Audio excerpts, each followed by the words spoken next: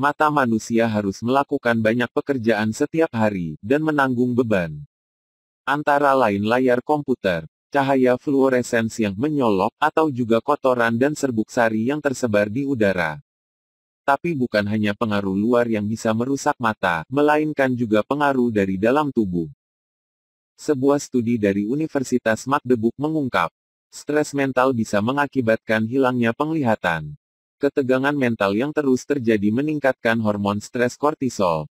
Itu berdampak pada sistem saraf manusia, yang juga mencakup otak dan mata.